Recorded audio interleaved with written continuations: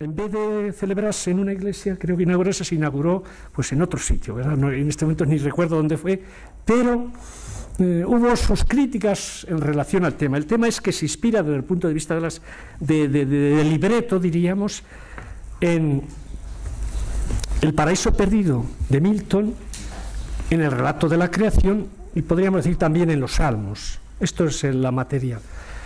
Eh, en esta época es una época de la ilustración, ¿verdad? Y dentro de las verdades cristianas que quedan de, la ilustración es la idea de Dios creador. se interprete como se interprete, pero no es como las demás verdades, ¿verdad? Pero bueno, eh, él se defendía diciendo que cuando la había compuesto, pues que todos los días rezaba y que se había sentido para defenderse un poco de que en vez de cantarla, en vez de interpretarla en un contexto religioso, fuese interpretado, diríamos, en un contexto más secular. Bueno, en cualquiera de los casos, eh, empalma con el tema que nosotros hemos tratado, que es el que es la fe en Dios creador, ciencia y ecología. También ese tema, no, no me quiero yo eh, profundizar demasiado en ello, estaba, está en el origen de esta. Cuando yo pensé realizar un acto de algo estético, Pensé en un comentario al, eh, porque es un, el cántico de las criaturas de San Francisco, ¿verdad? Que también ha tenido un efecto en el arte, en la pintura, hasta en la música, bueno, en todo, es increíble, pero luego me di cuenta yo que era mejor este porque podía empalmar con la relación, diríamos, de la fe con la ciencia, con hoy en día con la ecología. Nada más, solamente darle las gracias a don Ignacio Yepes, que además de su competencia musical, lo vive. Todos los que tenemos estos días habréis visto que lo viven, están hablan de un convencimiento y él comunica, diríamos, una vivencia musical, pero es que además es muy competente y se ha formado en la Universidad Complutense de Madrid, nada menos que es doctor en ciencias de la educación por la Universidad de Madrid, pero también el licenciado, pásmense ustedes, en matemáticas y astronomía, con lo cual empalma directamente con el tema de la creación. No quiero decir más palabras, sencillamente agradecerle y desear que todos ustedes pues se pasen unos momentos agradables.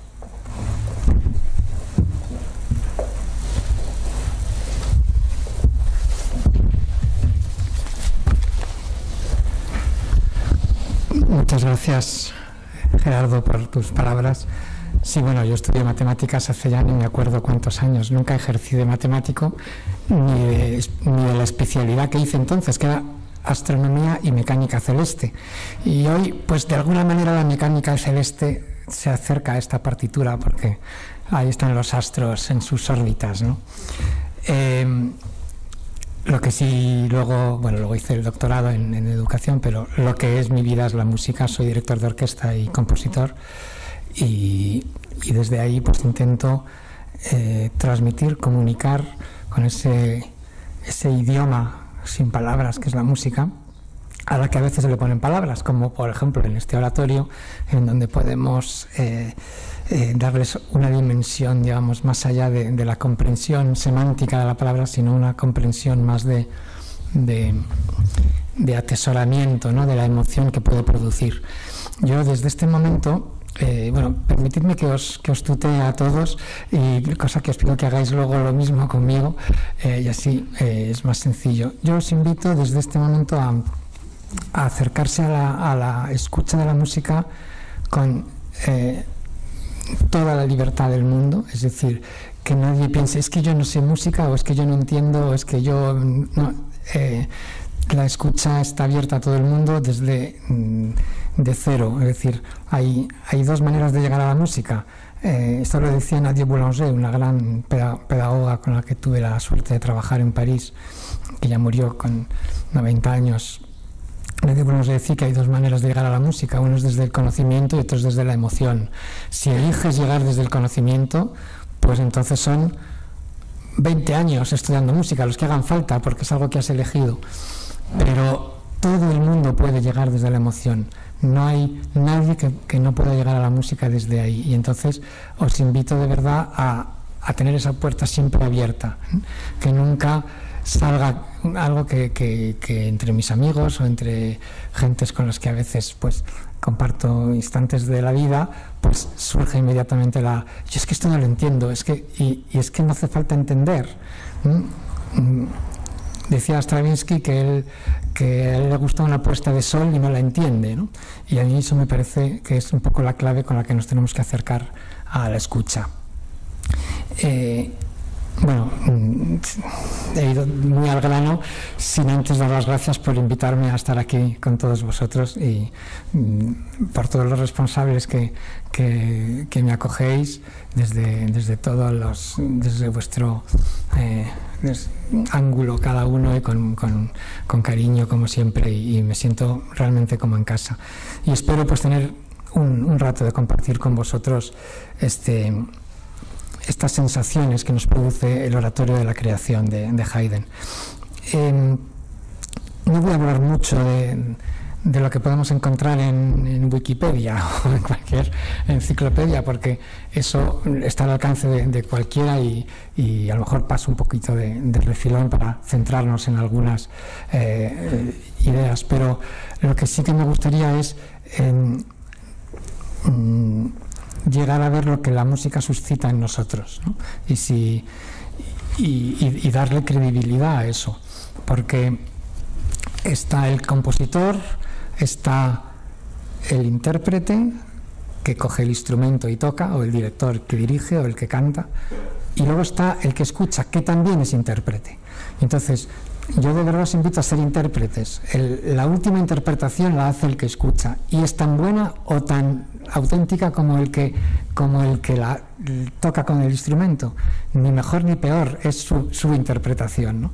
Y muchas veces incluso hasta ha llegado a ser más profunda que la que el propio intérprete del escenario está ofreciendo, que a su vez puede ser incluso más profunda que la que el propio compositor había, había sentido o con la que se había inspirado. La última interpretación la tiene el que escucha y eso eh, me parece que es precioso en este arte, ¿no? en, el que, en el que el arte se produce en vivo, en directo, en el instante. El instante siguiente ya ha pasado y, no, y ya no puedes cogerlo con la mano como una escultura o una pintura. Ya, y además no, no, no tiene es, es, abstracto, no es como, como a lo mejor la literatura que está, está usando palabras que se entienden.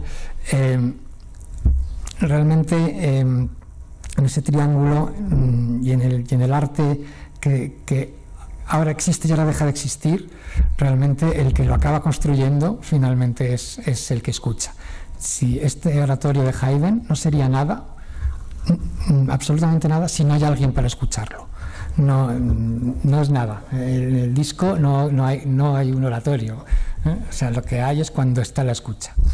Y esto me permite eh, bueno, pues eh, empezar con ese, con el título con el que me he atrevido a, a, poner, a, convocaros esta tarde, que es en el principio existía la música, haciendo una paráfrasis sobre en el principio existía la palabra, ¿no? Y, y lo primero que digo es que me inspiró este título de la charla un artículo de Alphonse Gottman, sacerdote ortodoxo que algunos conoceréis y articulista, que escribía en, la, en un artículo en la revista Chemin en 2005.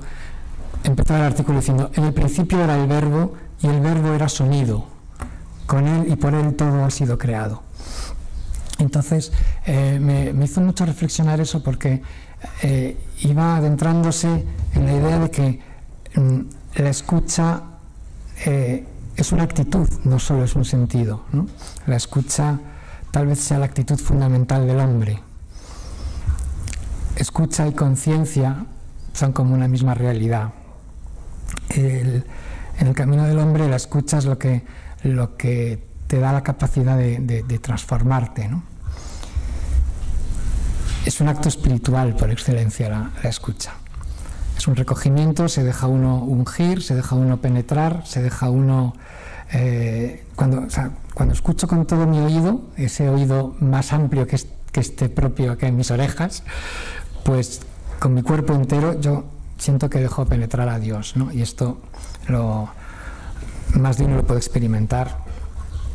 Me gustaba eh, además em, subrayar esto que estoy diciendo con, con, un, los versículos de, San Pablo a los Efesios cuando hace el comentario de que, mm, de que la escucha es como, un, como una, una, actitud que nos enraiza en, y nos funda en el amor de Cristo Verbo, ¿no? en, el, en, el, capítulo 3 de los Efesios. ¿no? Cuando, y yo ahí siento que el sonido está en el origen de todo. ¿no?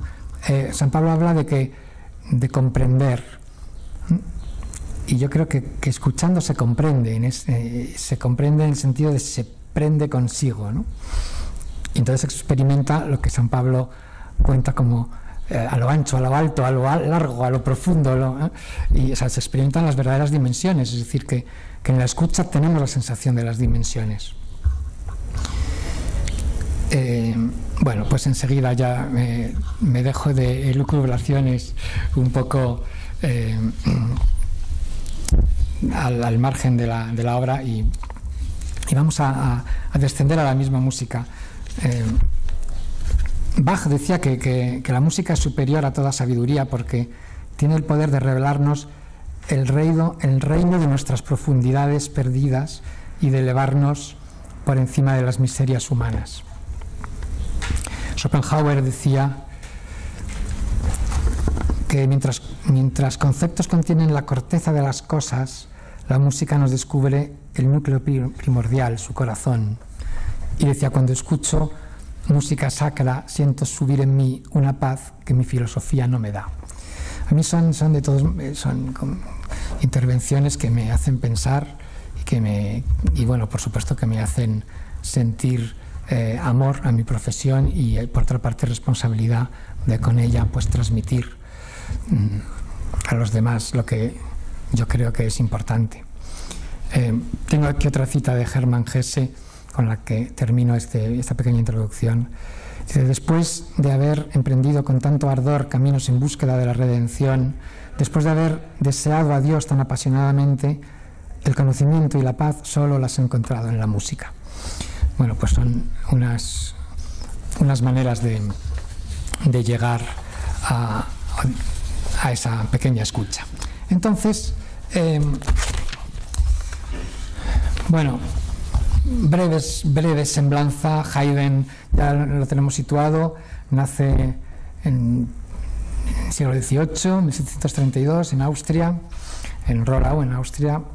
Con, los, con ocho años ya está cantando en el, en el coro de la, de la Catedral de San Esteban de Viena. Con 18, 17 años ya está trabajando de compositor, de profesor de música, de cantante. Con 29 años es maestro de capilla de la familia Esterházy y permanece con ese cargo hasta los 58 años. Es que yo lo pongo en años porque lo entiendo mejor, porque si digo en 1790, pues hay que estar. Pero es que me, me, toca más de cerca, porque como ya los voy cumpliendo, yo también voy viendo de lo que se trata. Y, solo con 60 años es cuando va a Inglaterra, y ahí es donde mmm, va a dirigir sus sinfonías, y ahí es donde escucha el Mesías de Händel y otros oratorios de Händel. Y es, efectivamente, como decía Gerardo al principio, le toca de una manera muy, muy especial. Muy especial. Hay, cartas de, Haydn eh, que, que, comenta de, dice, mmm, en la abadía de Westminster escuchó el Mesías y al escuchar el, el, el, coro del aleluya de Händel lloró y dijo las siguientes palabras, es el maestro de todos nosotros. Eh, y es verdad que, no sé si de todos nosotros, pero de él sí, porque ahora veremos en los coros de la creación, tiene un, un esquema armónico y de contrapunto to totalmente tomado de, de Händel, de, de, de, cualquier oratorio. En la mayoría de ellos, de hecho, muy parecidos a los, a los eh, coros de, las, de los cuatro himnos de la coronación de Händel, porque eh, casi todos son coros de alabanza y, en y, aquí mismo en la creación como al final de cada día lo que hay es un coro de alabanza. Entonces es un tipo de, de forma musical que funciona muy bien con coros que tienen partes eh, homófonas, par partes que todo el mundo está cantando a la vez, eh, y luego una segunda idea que es en, en, fuga, en contrapunto, donde cada voz se va independizando y se entrelazan. Entonces están como esas dos dimensiones, la, la, vertical y la, y la horizontal. Bueno, cuando vuelve a Austria, en el 95, ya tiene ya tiene 60 y muchos años, es cuando se pone a componer la, creación ¿eh? y muere con 75 años en 1809 en, en Viena. Eh, efectivamente, como, como, hemos comentado, el texto de, de, la, de la, creación, él toma, él toma tres, tres fuentes. Una de ellas es efectivamente son los, son los salmos, otra es el Génesis, toma de las, de las dos narraciones de la, de la creación, bueno, toma las dos, pero se basa más bien en la, en la primera, con sus seis días de, de, trabajo creando la naturaleza y la culminación de, de, la creación con el hombre y la mujer a imagen de Dios. Y también del Paraíso Perdido de, Milton, que sabéis pues, que es un poema narrativo pues también del siglo XVII, que parece ser que, lo, que, que, iba Händel justamente a componer sobre él, pero nunca lo hizo y entonces de alguna manera Haydn toma ese, ese relevo. Pero el original es en inglés y nunca se, no se conserva, no se ha encontrado. El, el tema del, del, libreto es interesante porque en realidad es, es eh, eh, Gottfried von Swieten que, que hace el varón von Swieten, que es el que hace la traducción al alemán y entonces Haydn directamente ya lo compone en alemán. Eh, la primera vez que se hace el, eh, el, la creación, efectivamente, no es en una catedral, es en una iglesia, es en el palacio de, de en, en, Viena. Y mm, hay quien, quien hace alusiones a que eh, es posible que, que, tuviera ciertas dificultades de ser interpretada la, creación en lugares sagrados porque, eh, bueno, aunque nos cuenta una historia conocida, simple, aceptada, eh, está en la Biblia, pero eh, y no, no, ataca directamente a ninguna, a ninguna creencia cristiana, pero en aquella época, por lo visto, la Iglesia lo prohíbe en ese sentido porque tiene un tono tal vez demasiado secular, tal vez debido a la, ausencia de, poner el énfasis en la idea del pecado, porque la creación es los días de la creación y se acabó. Es que es como si no supiéramos qué va a pasar después. Y de hecho, todos nosotros sabemos cómo es la continuación de, la historia, pero, pero Haydn se queda con esa creación del hombre y esa alabanza del hombre a Dios y ahí acaba el oratorio.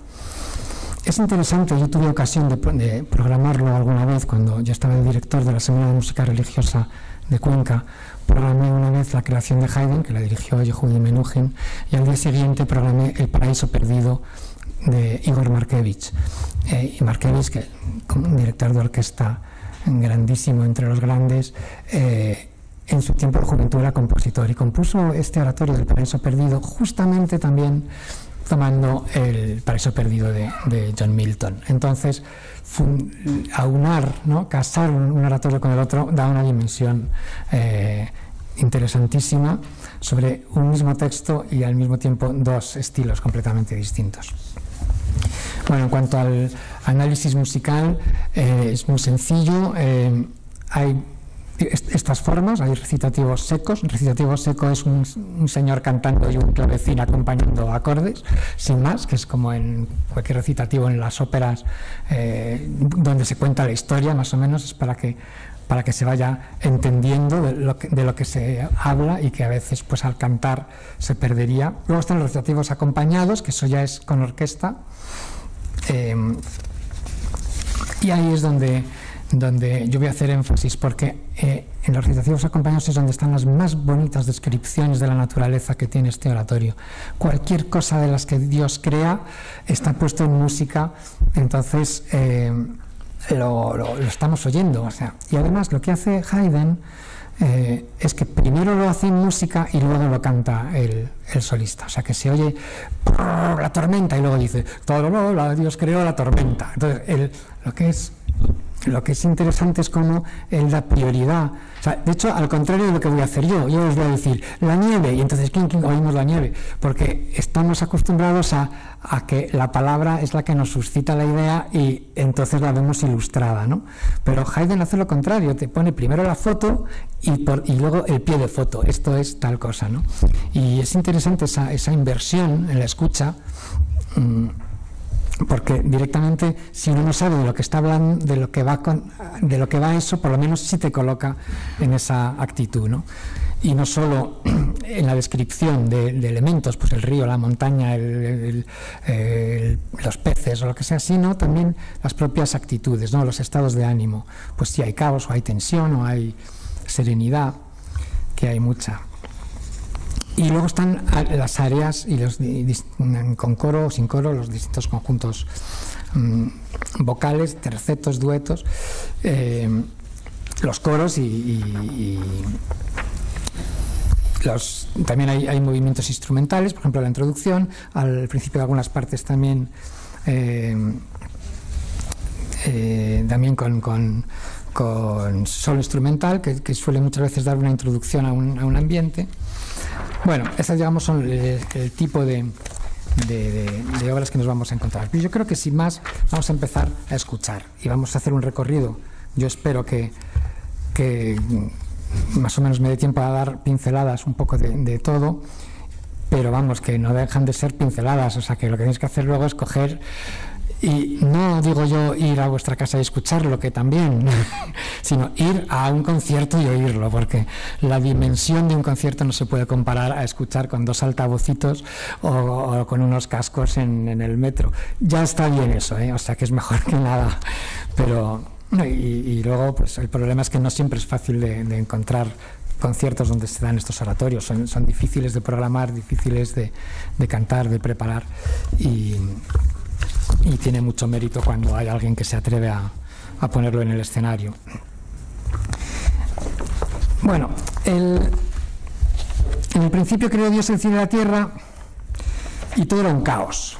¿vale? Entonces, ¿cuál es el primer problema que, con el que nos encontramos? Pues que, ¿cómo describimos el caos?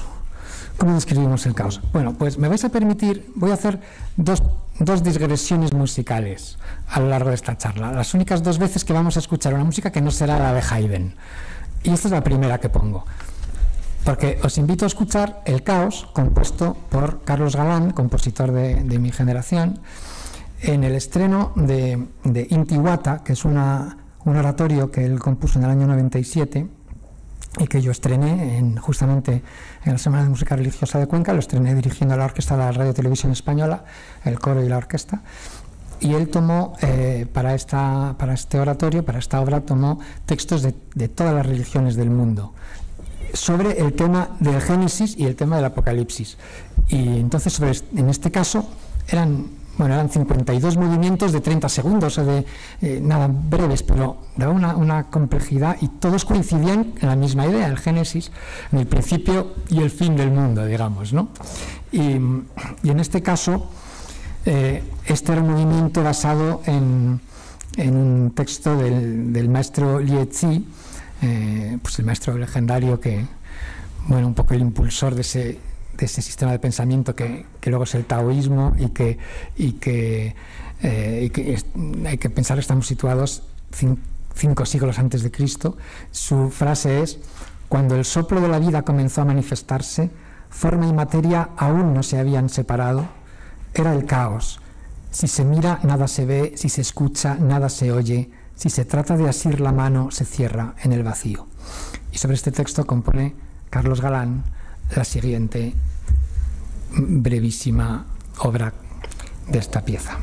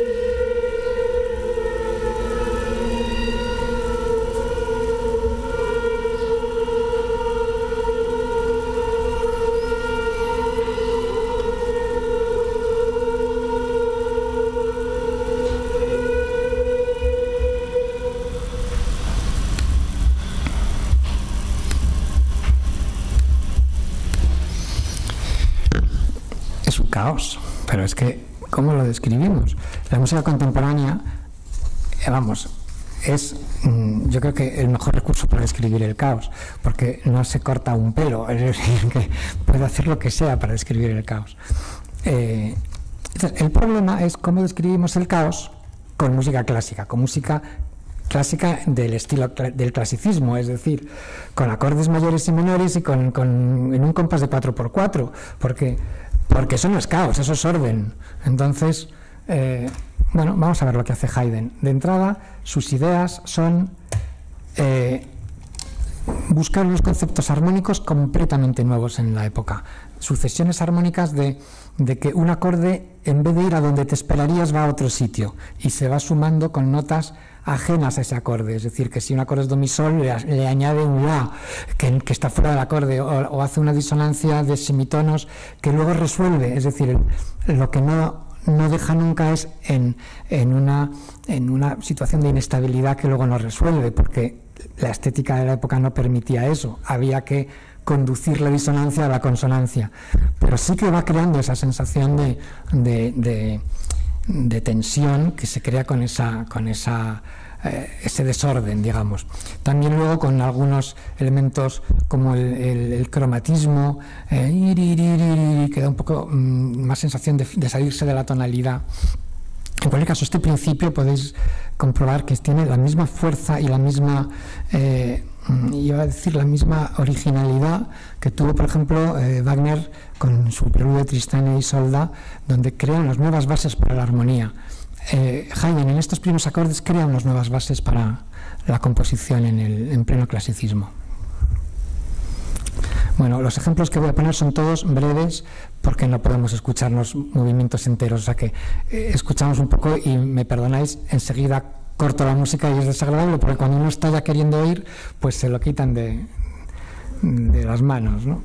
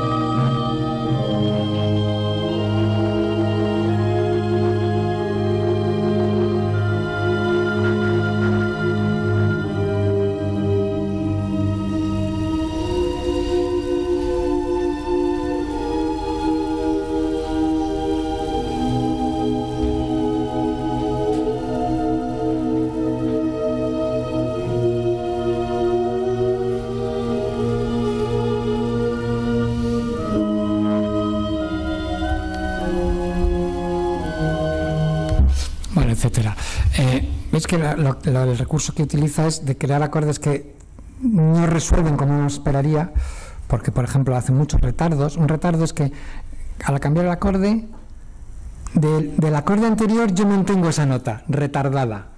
Y entonces se crea, claro, una disonancia porque ya estoy por aquí, pero hay una nota que todavía va de antes. O anticipaciones, ya estoy tocando la nota del acorde siguiente. Entonces eso funde muy bien un acorde con otro, pero va creando, digamos, instantáneamente va creando situaciones de, de pequeño caos, porque porque es una mezcla de notas que no pertenecen a, ese acorde. ¿no? Es una manera un poco burda de explicarlo, pero espero que os sirva de, esa visión horizontal de la música eh, en esa otra coordenada vertical del acorde con el retardo o la, o la anticipación. Em, y entonces, bueno, ya eh, vamos a darle entrada a los, los, tres arcángeles, Rafael, Gabriel y, y, y Micael, son los que los que van contando la historia, digamos, hacen un poco de narradores, ¿no? Y son los que tienen los recitativos.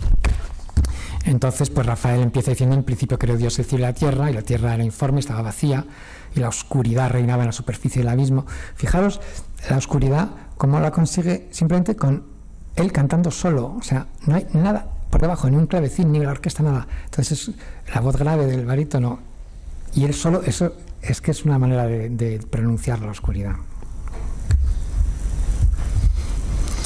Y sin solución de continuidad vamos a escuchar el primer coro que entra, que dice, y el Espíritu de Dios se cernía sobre las superficies de las aguas. Y dijo Dios, hágase la luz.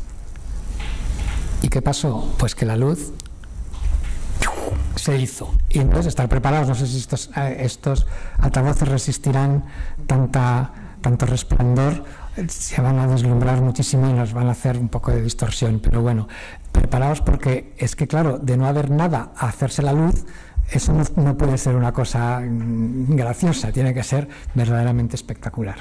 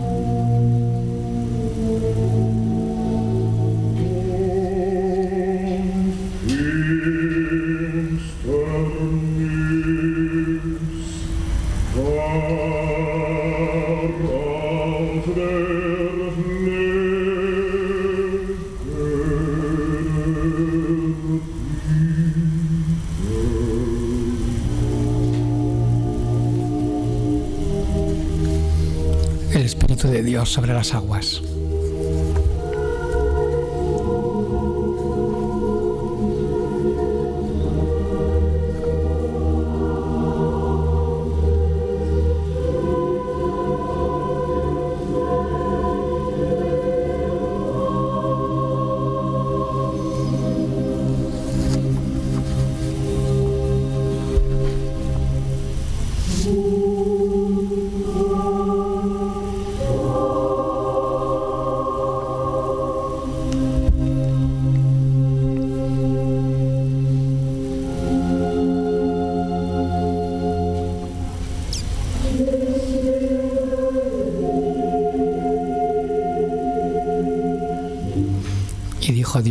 Hágase la luz.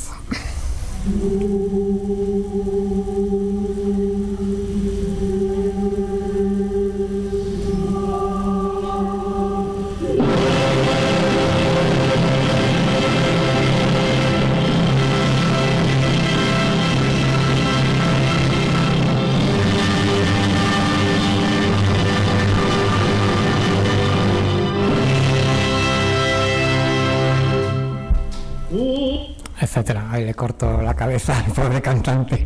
Bueno, disculparme los, los cortes, pero bueno, ya no lo vuelvo a decir. ¿Veis de pronto? O sea, es que es el Big Bang, o sea, es que no sé cómo deciros. Es, es una explosión. Yo creo que no había habido una explosión semejante en la, en la, en la historia de la música. Eh, bueno, ese es el primer día. Eh, hay un momento bonito y es cuando luego el, eh, Uriel, bueno, aquí los, arcángeles son Rafael, Uriel y, Gabriel, eh, dice, bueno, pues los rayos sagrados toman posición y desaparecen las sombras, desaparecen las tinieblas, ¿no? Y la agitación retrocede y nace el orden. Y entonces el, el grupo de los espíritus huye a las profundidades del abismo. Entonces, en ese momento, el coro se suma a esa, a esa idea con, con, una energía y con una profundidad y con una eh, fuerza, digamos, de, mm, eh, como con mucha tensión, porque estamos hablando de la, del infierno y del abismo, y de ahí mismo sale la frase de y un mundo nuevo surge ante la palabra de Dios. fijaros que, cómo, contrasta Haydn esas dos ideas. ¿no? la desesperación, la rabia, el terror acompañan a todos los espíritus de las tinieblas a las profundidades y surge un mundo nuevo. Está magistralmente compuesto mm, con una, eh, melodía ascendente que da esa sensación de mundo nuevo Bueno, no os lo canto porque así os sorprende. Bueno, los que ya os lo sabéis, no. Vamos a escuchar este otro. momento.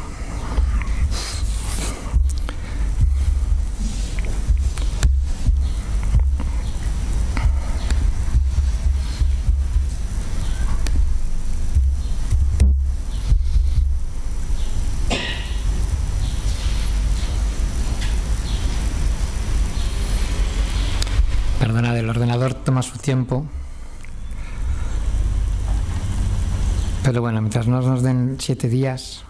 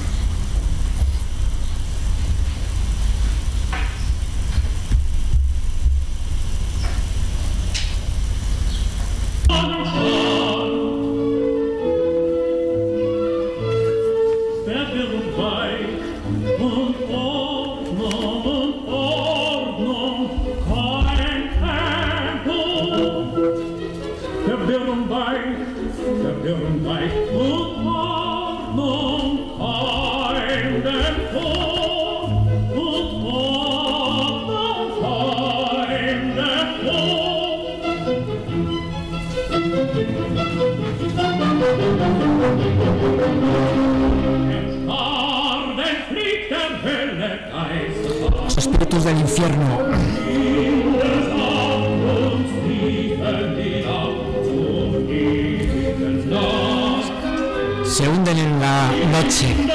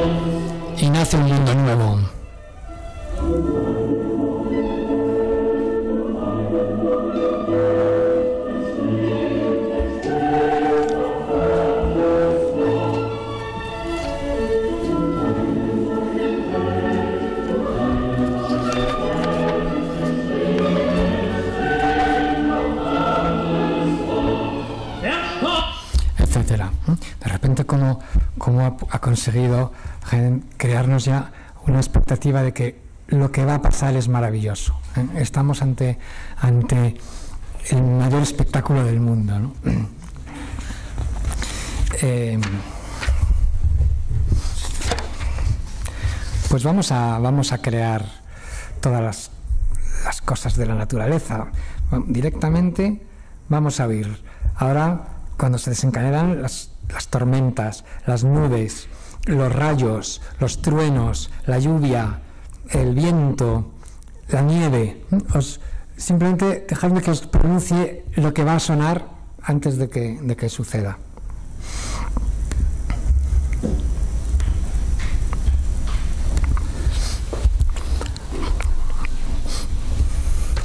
Aparte de, de un primer recitativo de Rafael y enseguida empieza toda la descripción. Eh, es un poquito recitativo seco, dice Dios creó el firmamento, separa las aguas y luego empiezan ya, pues eso, las distintas, los distintos elementos.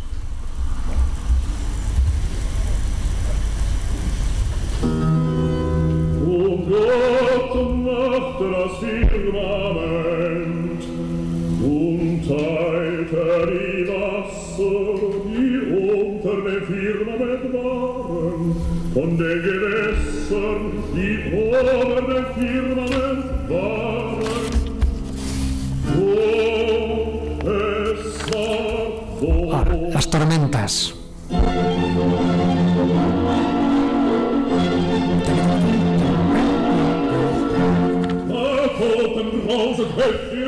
Las nubes que huyen.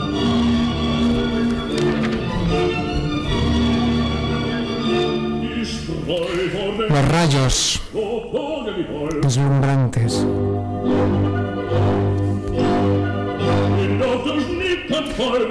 Los truenos.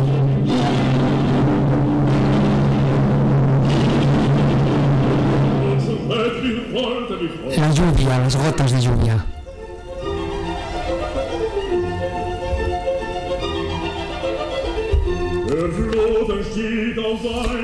La borrasca del viento.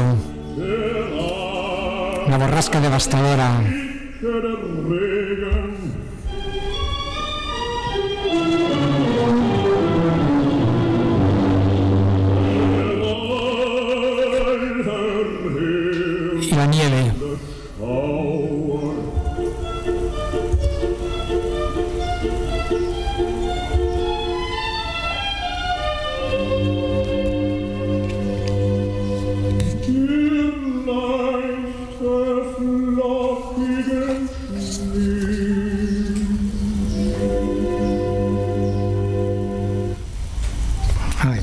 Acorde último, ¿será posible? Bueno.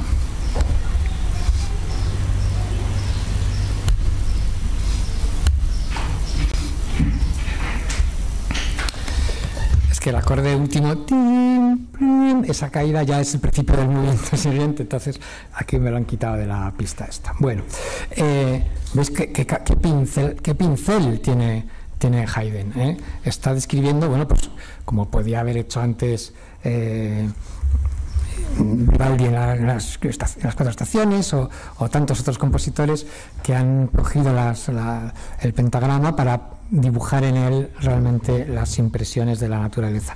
Me adelanto a decir que, que muchas de estas cosas no describen exactamente la naturaleza, sino que describen las impresiones que, que la naturaleza causa en el compositor. Eso es muy importante y Beethoven luego lo, repetirá eso cuando escribe la pastoral ¿eh? y lo dice explícitamente. Yo no estoy describiendo el riachuelo y la tormenta, estoy describiendo la impresión que eso produce en mí.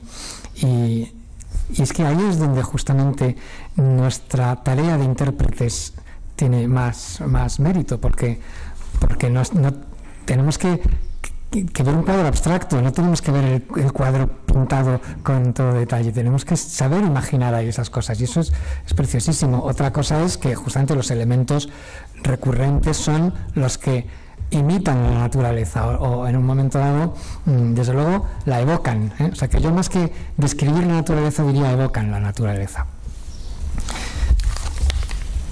Em, bueno, los ángeles del cielo contemplan la maravilla del Creador.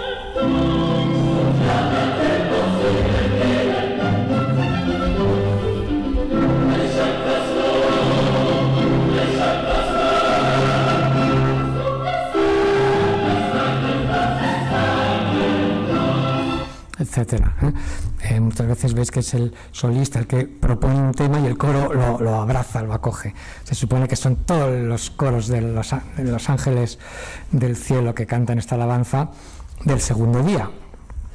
Se acabó el segundo día, vamos al tercer día.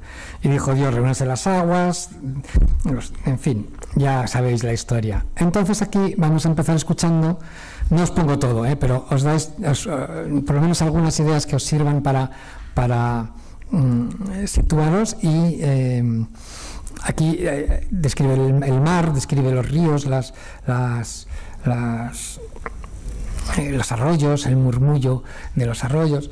Bueno, vamos a empezar viendo el, el mar que se, que se agita.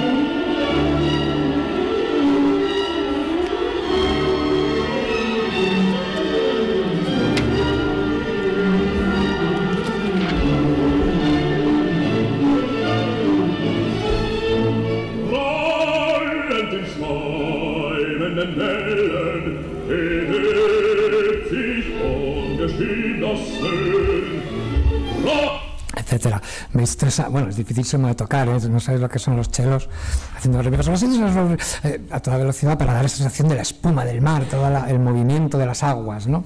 que se crean. Luego hay elementos eh, eh, de, de contrapunto interesantísimos cuando las colinas y las rocas aparecen, pues esa, esa música aparece, es como que sube, luego surgen las crestas de las montañas, la anchura cuando describe el río que recorre el, el llano. Os voy a poner un ejemplito curioso que es cuando describe las mil revueltas, no sé cómo dice aquí, eh, largos ríos sinuosos. ¿no? La palabra sinuosos, todas esas revueltas del río, hace una, un- un- una glosa a la voz, ¿eh? cuando dice eh, li, bueno, escuchamos cómo lo canta y, y el dibujo de la voz va de verdad haciendo, haz- haciendo ver el río.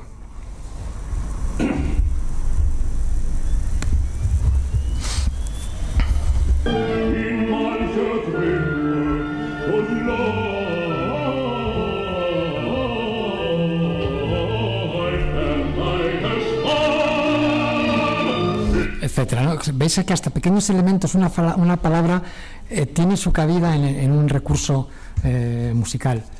Claro que Haydn lo que veía eran ríos en, en Austria. Si, si hubiera pasado por La Mancha, a lo mejor no describe ríos sinuosos, pero bueno. eh, vamos con el área de, de Gabriel, ya estamos en la. Este tercer día tiene estas dos partes de la creación, ¿no? En las aguas, el mar, los ríos, pero también ahora las, plantas, ¿no?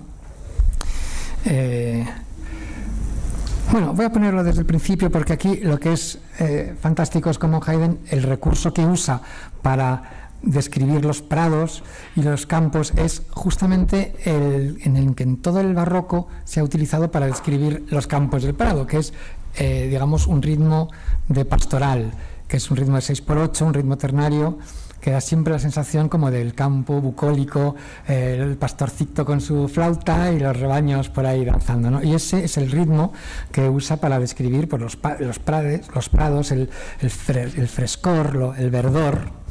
Y, y cuando habla del perfume de las flores, a ver si, si podemos llegar a él, eh, es cuando, cuando eh, se permite justamente un poquito más de, libertad eh, melódica. ¿eh? Es decir, que sobre la sílaba de- de- del, perfume eh, mm, puede jugar un poco, que es como si saliera por los aires, no es algo quieto, sino es algo como, completamente volátil. Vamos a escuchar esa parte.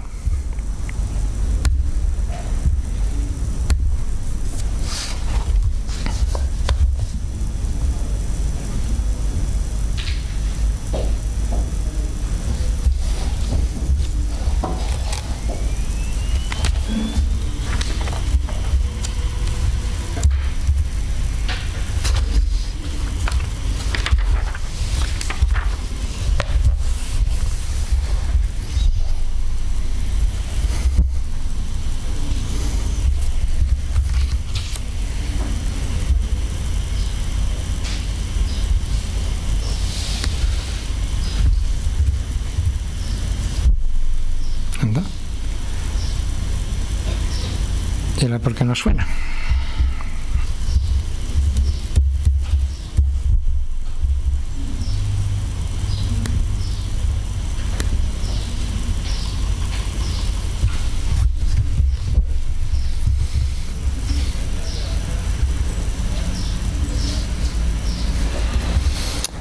Bueno, pues ya empezamos con problemas técnicos.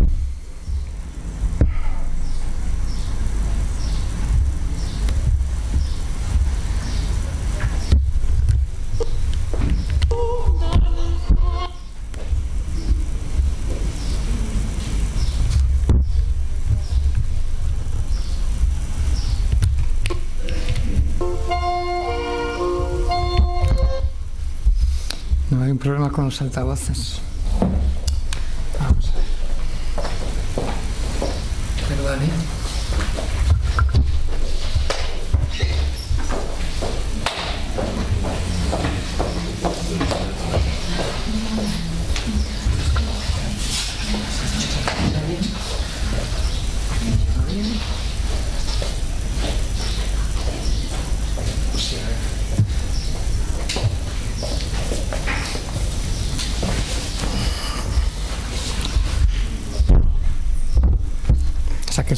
Transmisión porque el ordenador solo si, si, si cantaba.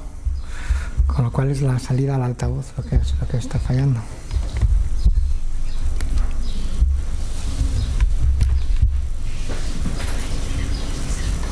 ¿Se ha saltado algo? Vale. A ver. Gracias, Ana Belén, eres estupenda.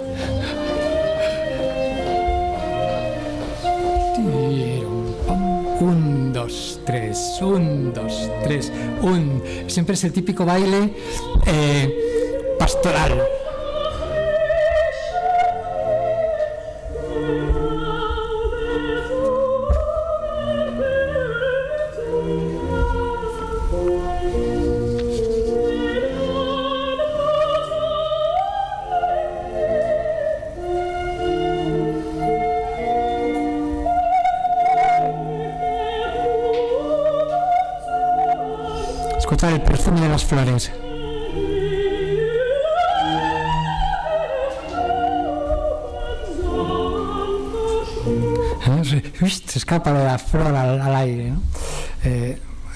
Por ejemplo, el momento que a mí me gusta, dice, cuando, cuando crecen, ¿cómo, cómo dice la traducción que tenéis aquí?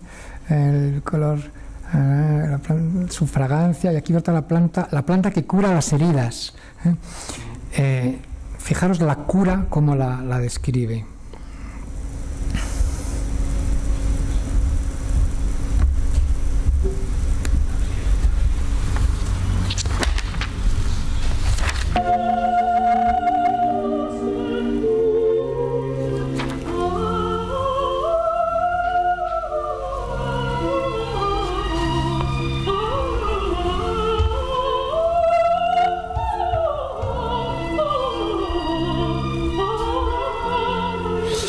Se toma una libertad de expresión, de anchura, de, de no quedarse en la sílaba, sino que la, eh, la, propia, la propia palabra le, permite una extensión mucho más amplia, mucho más eh, en, en, toda la dimensión.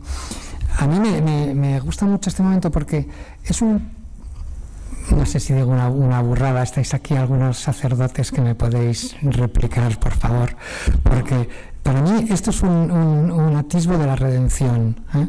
Está esa cura, la cura de las heridas, esa, ese, esas, mmm, aquello que, que, que, que, que viene a ser la, bueno, Heil en alemán, Heilspost der Wunden Heil, Heil que también tiene el significado de salvación, de redención, ¿eh?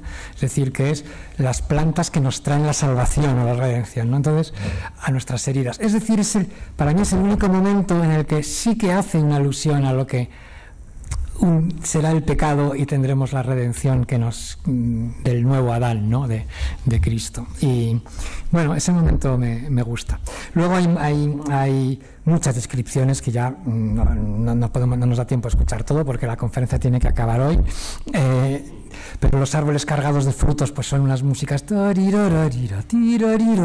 que van como cargándose los, lo que es la idea musical que se crea en un bosquecillo con una pequeña instrumentación y luego cuando dice el espeso bosque como se corona con una gran instrumentación. En fin como veis está creado toda, está creada toda esta parte de la naturaleza. Y, y nada pues el coro canta que eh, su, su, alabanza, como siempre, acaba con, con su coro de alabanza. Eh, escuchamos unos segundos de ese coro para que tengáis sensación de que acaba el día de la creación, que es el tercer día de la creación.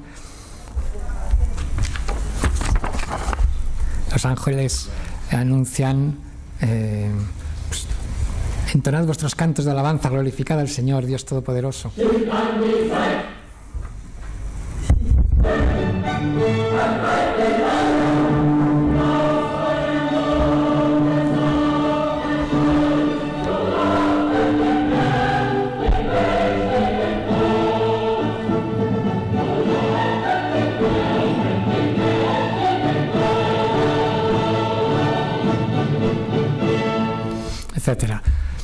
Pasamos al recitativo de Uriel eh, para mí este es el momento más mágico de la creación de Haydn. La primera vez que sale el sol. Vamos a escuchar la primera salida del sol en el mundo.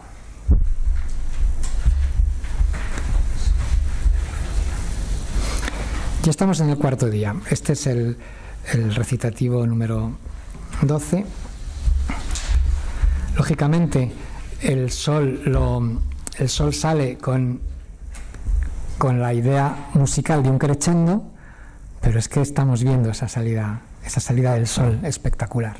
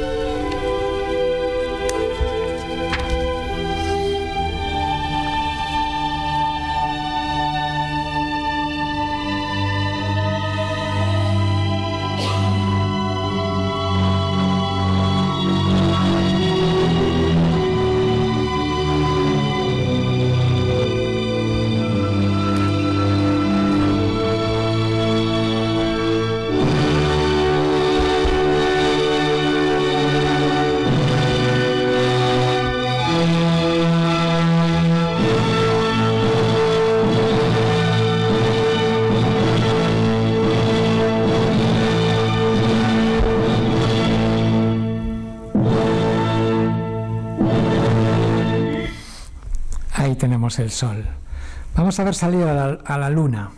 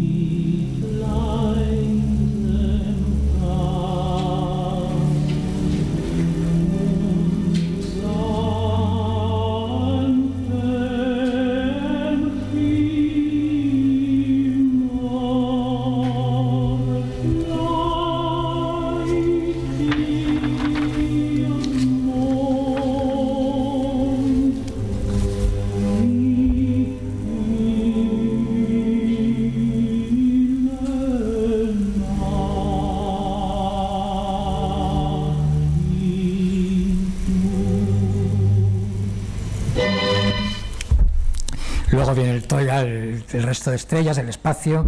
Las estrellas las escribe chin, chin, chin, chin, con semicorcheas bien cortitas. Bueno, etcétera. Y claro, el coro de los ángeles, pues a dar gracias a Dios. Y, y tenemos un, coro preciosísimo donde ahora se intercalan las intervenciones de los tres solistas que por primera vez ya hacen tríos. Y, me gusta muchísimo y, lo, quiero eh, lo quiero mostrar porque la primera frase del trío el día que tomada del Salmo 19 me parece los, los primeros versículos. El día se lo cuenta el día y la noche se, la, se lo cuenta la noche ¿no? Eh, es, es bellísimo porque una vez que ya está creado el día y está creada la noche pues uno se lo cuenta al otro y ya está. Y entonces y hasta hoy vamos a pero claro hacía falta el primero de todos esos. Entonces el coro hace su, su canto de alabanza, los cielos son testigos de la gloria de Dios, al estilo Händel, escuchar que podría ser Händel este, este, este coro.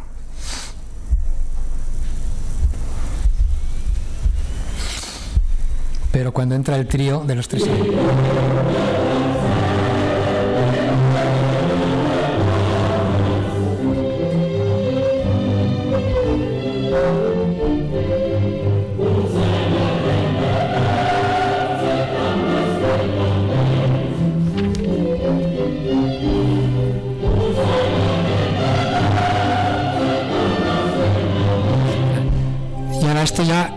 solo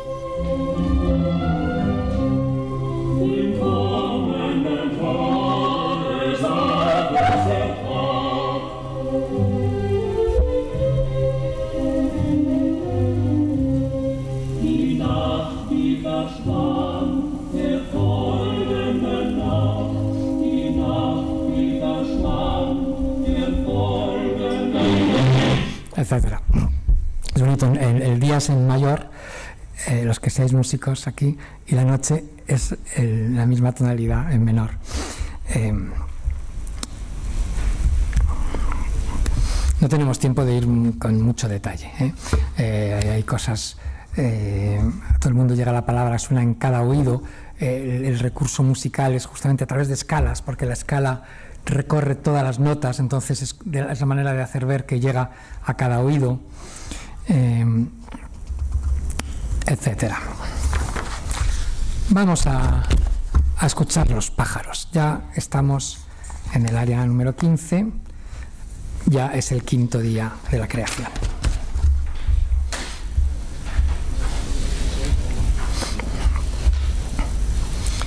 Entonces hay, em, bueno, hay una introducción que en realidad es como un pequeño resumen de,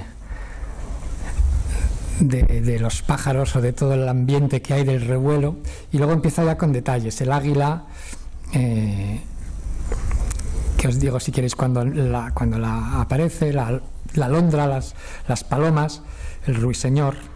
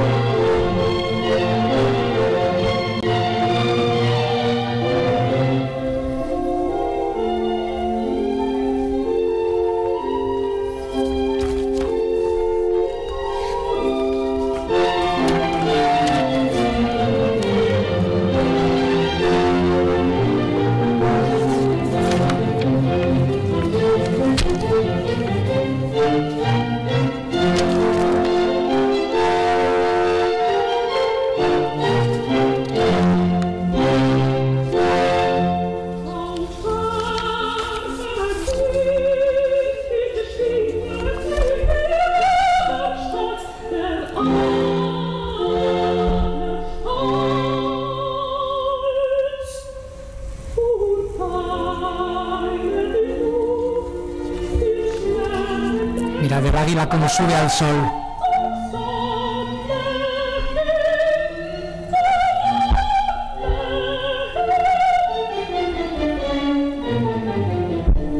¿Habéis visto? El- el- se oye de fondo los violines llegando a esta nota más alta porque el águila es el que más se puede acercar ahora al alto del cielo.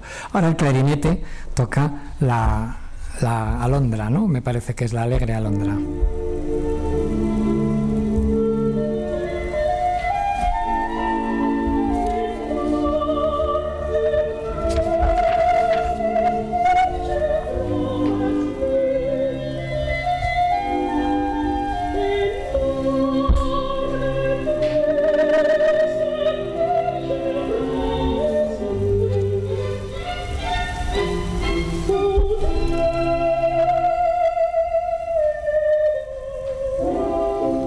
Las palomas. Escuchar. Ahí está. Y el, el, el, el arrullo de las palomas.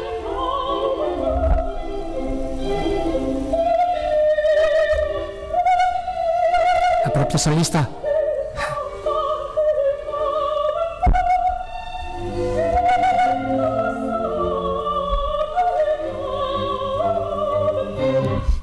Solista hace, va haciendo como ese arrullo. El, el ruiseñor eh, está, a ver si lo encuentro, está un poquito más adelante. Y este caso, claro, es la flauta. Yo soy flautista y entonces, pues me gusta.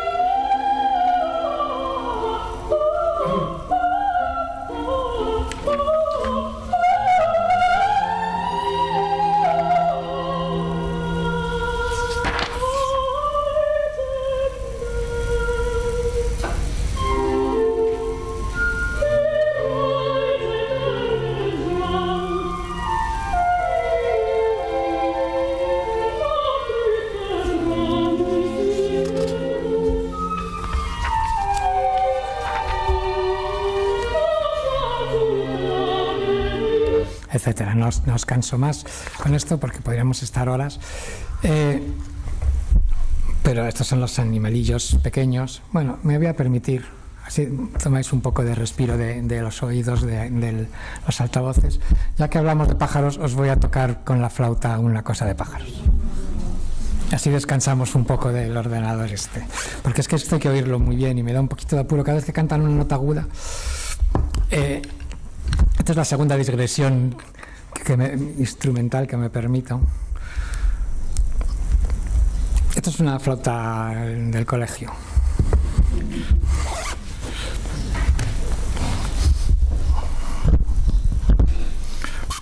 Voy a tocar un- los- el, ruiseñor, el de los Ángeles de, de Eyck, compositor flamenco del siglo XVII.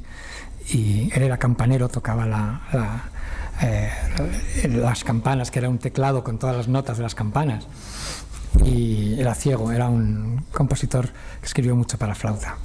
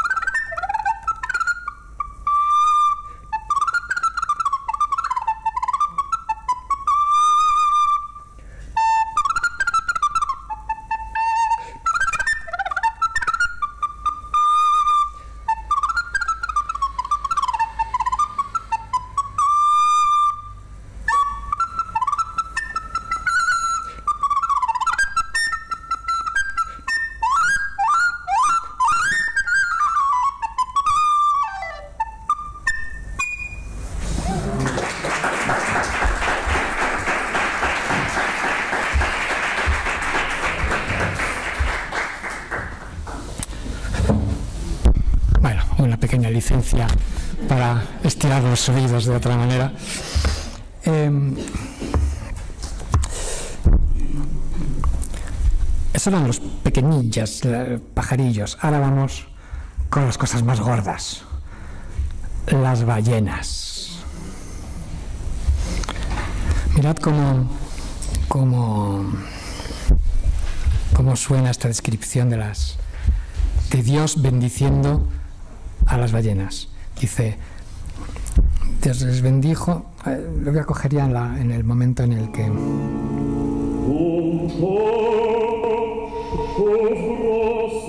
Bueno.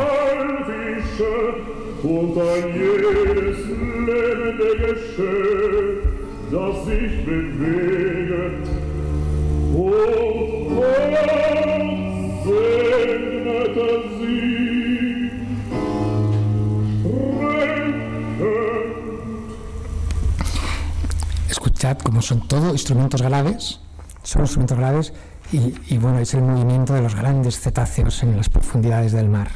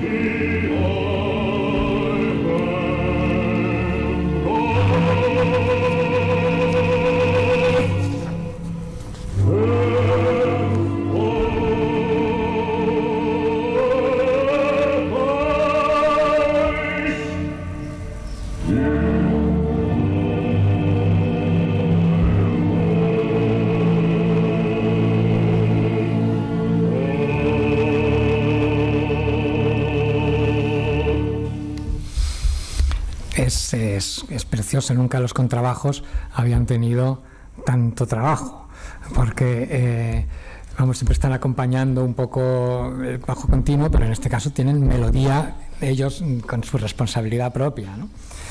Eh, el sexto día. Entonces ahí empiezan los animales. Me voy saltando cosas, eh, perdonadme, pero es que no, si no, alguien dirá que tiene ganas de cenar y es. vamos a ver. Eh, vamos con los animales. Se abre el seno de la tierra y da, se da nacimiento a los animales.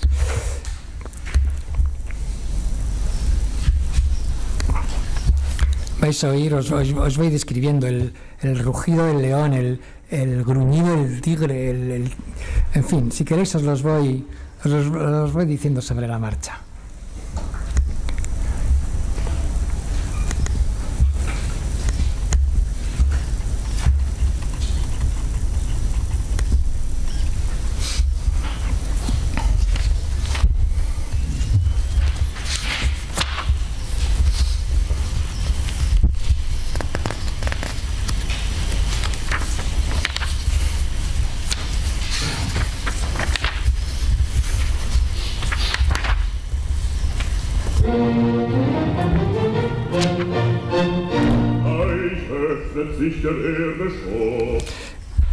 ¿Cómo dice la traducción? Perdón.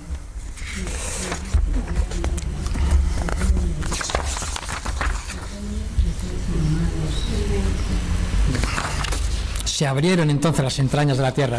¿eh? Has visto esa escala ascendente que se abren las entrañas de la tierra y surgen eh, los animales. Eso es. ¿eh? Lo ponemos desde el principio y así. Tat.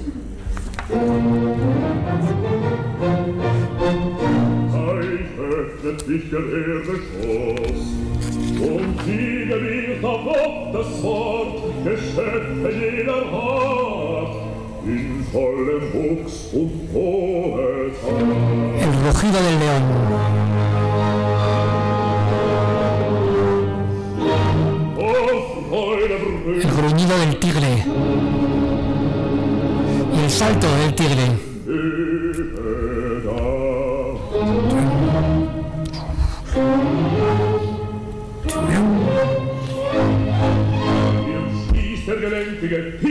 Ahora es el ciervo. Que levanta su cabeza astada. Elegante y noble. El corcel. El caballo.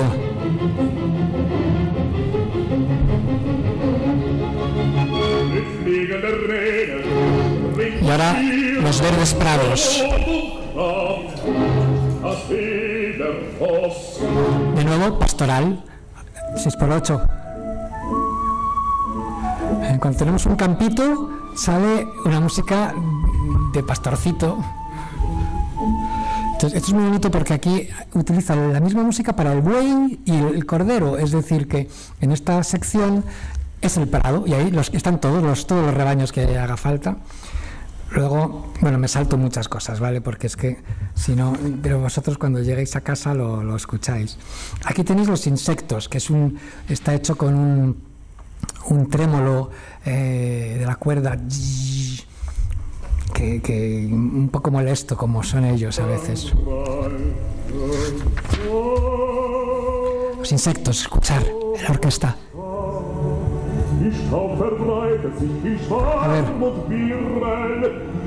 Heer, Heer Es que no se oye bien, pero el fondo de la, de orquesta era esa especie de, de- de zumbido, ¿no? Y ahora los reptiles que se arrastran por el suelo, ¿no? Insekten.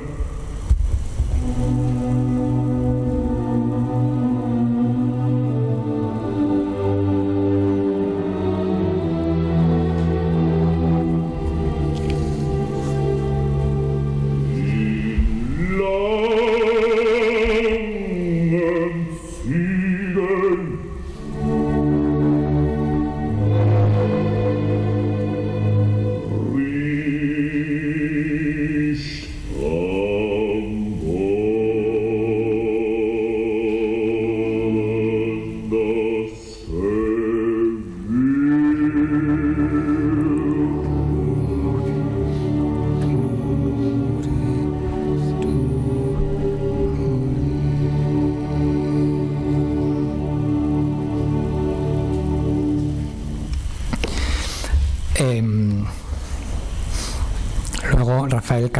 especie de resumen de lo que ha pasado el- en el cielo con todo su esplendor, la tierra resplandece, el plumaje en el aire, el, em,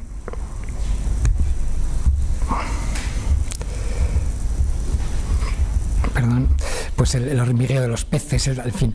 Pero os voy a poner el instante del, del peso de los animales que oprime la tierra. No sé si aquí dice algo parecido. La, tierra cede bajo el peso de las bestias, pues los elefantes, los, mamuts, ¿no? Sé, eh, los dinosaurios. eh, y, para eso utiliza un contrafagot, que es un instrumento pues que he usado muy pocas veces y en este caso con el con el, el- fagot y el contrafagot que escucháis ahí el, el- peso de, de estos animales eh, gigantescos no con esas dos notas que se oyen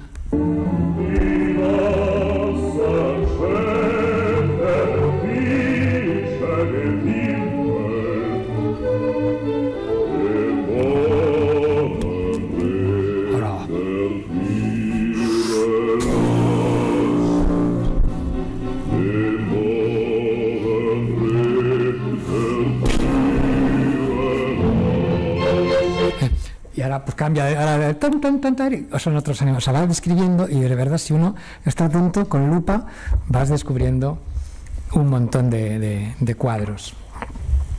Pero, ¿qué pasa ahora? Que es todo muy bonito, pero falta algo, no todo está terminado. Y para decir no todo está terminado, ay, es que se ha cortado esto, utiliza, utiliza un unísono, es interesante, ¿eh?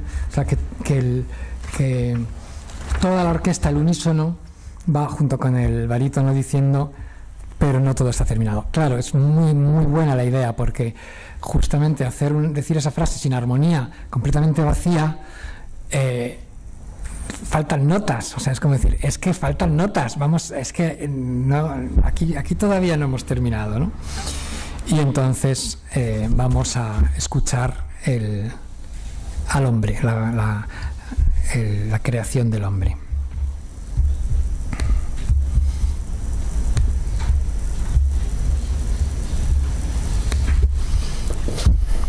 Solo el principio, que es uno de los temas más hermosos de la, de la, del oratorio, y utiliza luego el mismo tema para describir a Eva.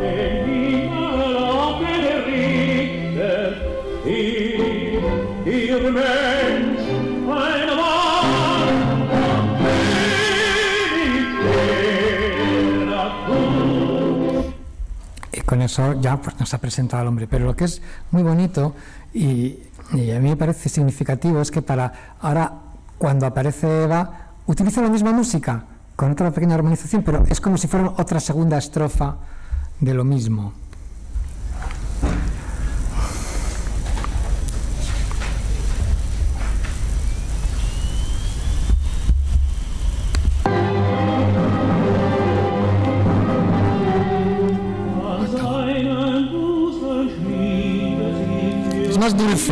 Es la misma, son las mismas notas.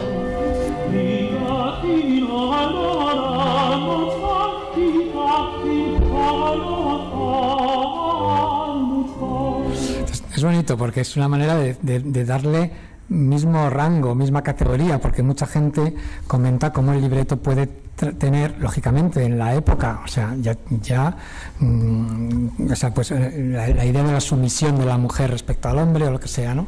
Pero yo creo que Haydn aquí acierta con esa manera de presentar dos eh, la misma música los dos, es decir, que están en la misma, no, en, el, en el- en el mismo espacio sonoro, ¿no?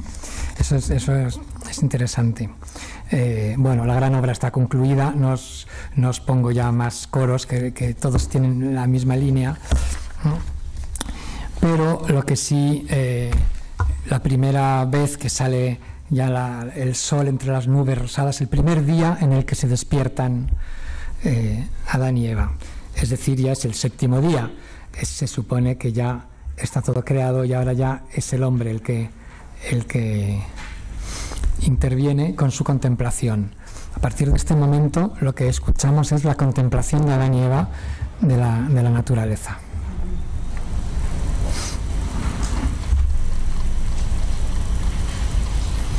Esto es lo que sería el principio de la tercera parte del, del oratorio. Número 29 de, de aquí.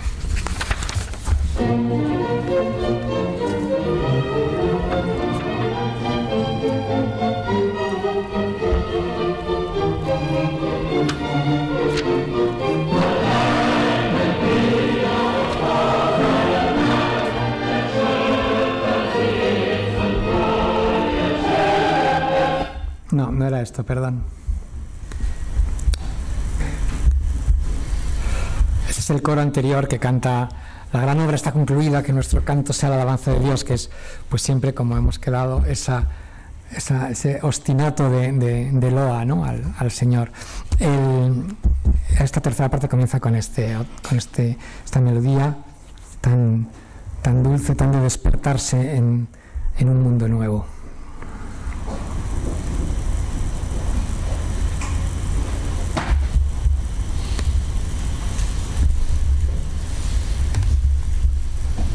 Ah, ya estamos otra vez con algún problema.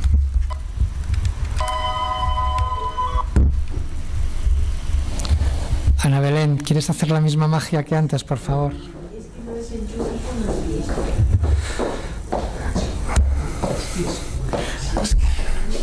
Algo, le habré pegado una patada a algo. De verdad que desastre soy, ¿no?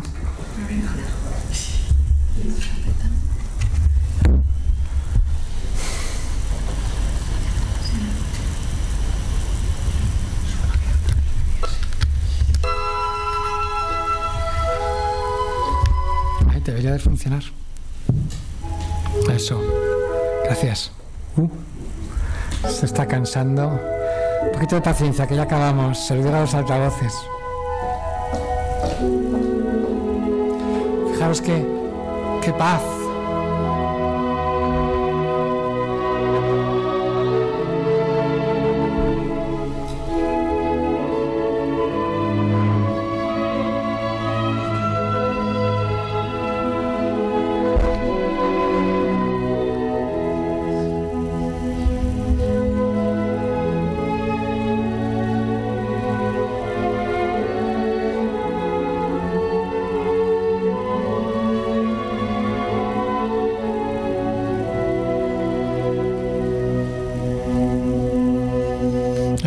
hacéis una idea. Es un momento, pues eso de, la mañana, eh, desciende la armonía sobre la tierra.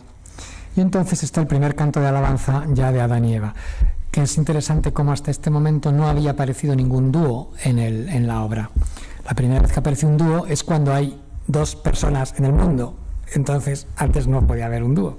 Había tres arcángeles que cantaban tríos, pero el dúo del hombre y la mujer aparece por primera vez en este canto extraordinariamente bello de Adán y Eva. Yo, eh, en un momento dado, is eh, fundido entre su propia oración de alabanza a un coro que entra, ¿eh? que, que va al mismo tiempo. Es toda la humanidad que está cantando con ellos.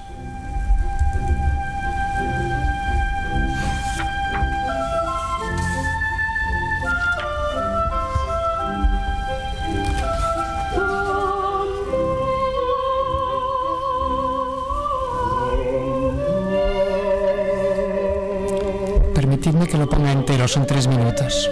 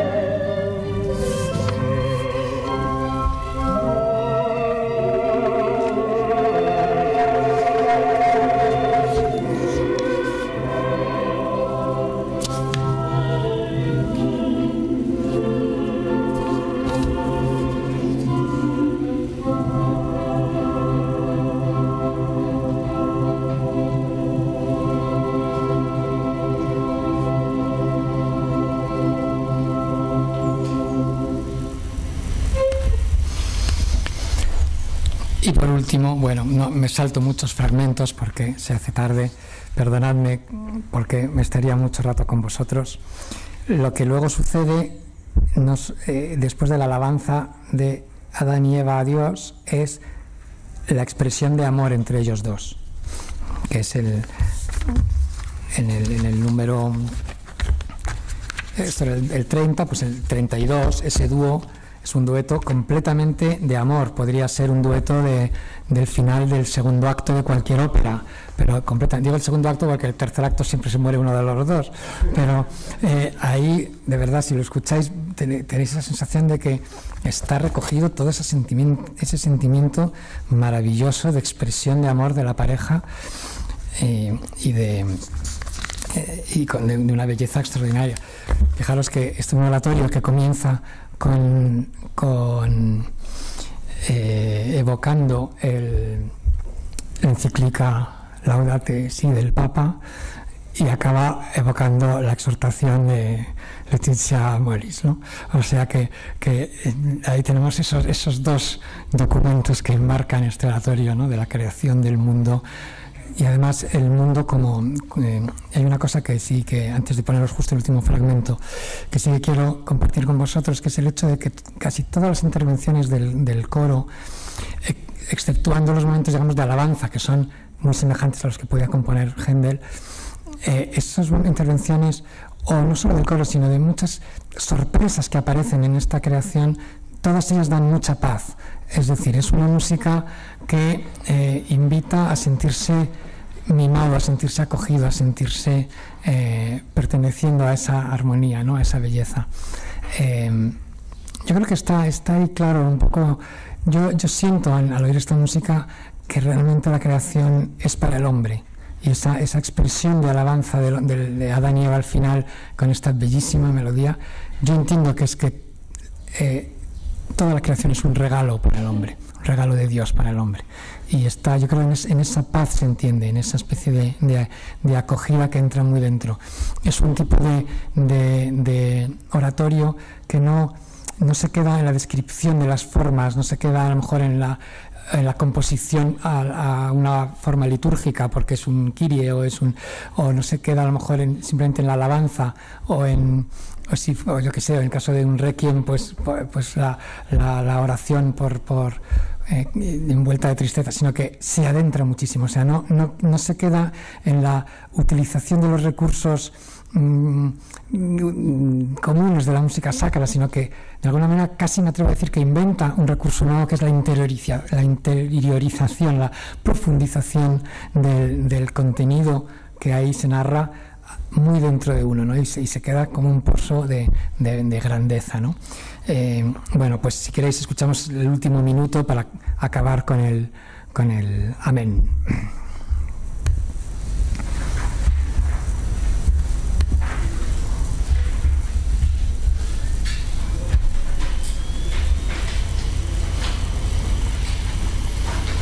En, este, en, varios de los coros se emplea la palabra que la gloria del Señor sea eterna y la palabra eh, eterna también en, un coro anterior hablaba de la, de la te glorificamos para toda la eternidad. Cada vez que pronuncia la palabra eterno o eternidad, el coro se queda como quieto durante compases y compases y compases sobre la misma nota. Eso es, es increíble, es una sensación de por aquí nos quedamos, ¿no? O sea, no tiene, no tiene fin este acorde. A ver si lo consigo pillar, por lo menos ese, ese momento. Y, y escuchamos, pues nada, justo el, el final de.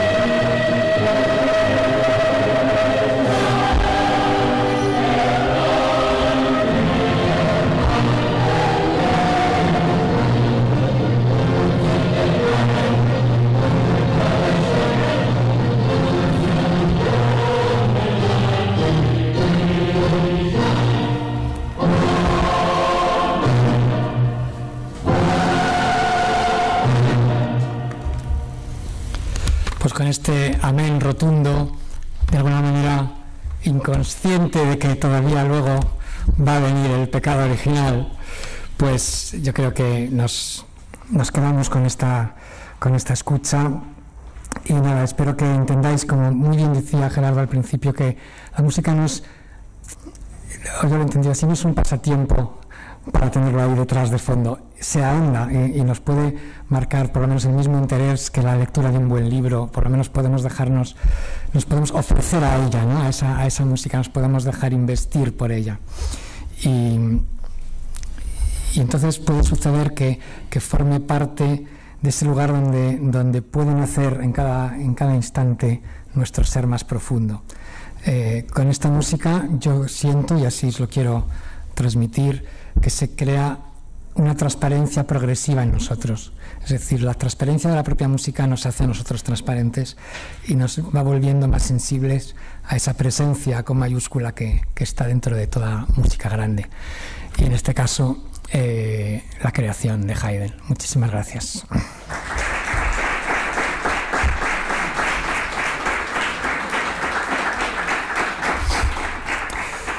La versión que hemos escuchado era justamente Igor Markevich dirigiendo a la Orquesta Filarmónica de Berlín. Estaba Ingmar Siegfried de soprano, Richard Hopp de tenor, Kim Borg con de y el coro de la Catedral de St. Hedwings. Bien, yo quiero agradecer a don Ignacio eh, que haya venido, que ha tenido que hacer bastantes esfuerzos que no merece la pena comentar, pero bueno, que si los comentara veríais todavía más el mérito que tiene. Quiero decir dos cosas también, puesto que está aquí delante su madre, ¿verdad?